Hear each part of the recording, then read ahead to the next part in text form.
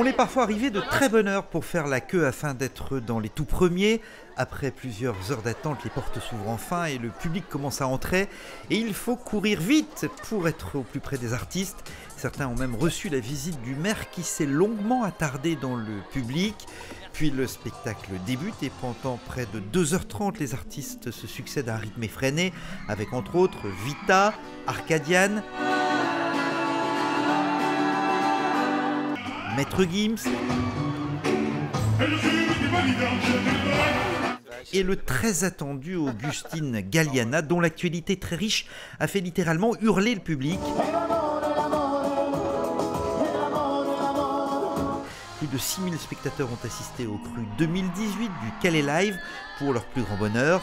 Ils ne se sont pas ménagés, certains ont chanté toute la durée du spectacle et comme si tout cela ne suffisait pas, certains ont été comblés puisque les artistes se sont prêtés au jeu des autographes, l'occasion d'avoir une signature mais aussi d'échanger quelques mots.